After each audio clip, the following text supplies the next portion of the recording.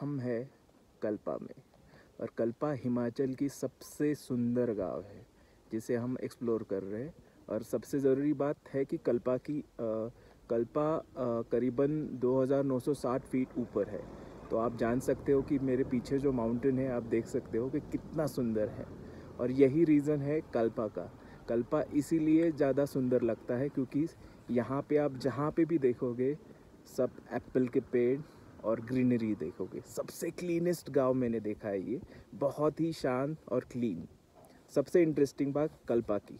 शिमला से अगर आप कल्पा आते हो तो आपके आपको करीबन 260 किलोमीटर का ट्रैवल करना पड़ेगा। बट इट्स और करीबन आठ से नौ दस घंटे का ट्रैवल पर ये बेयर कर सकते हो आप इस तरह के व्यू के लिए। जो सबसे इंटरेस्टिंग है। तो विल एक्सप्लोर टुडे कि कल्पा की जो जर्नी है शिमला से लेके कल्पा तक, आज हम देखेंगे और एक्सप्लोर करेंगे कल्पा।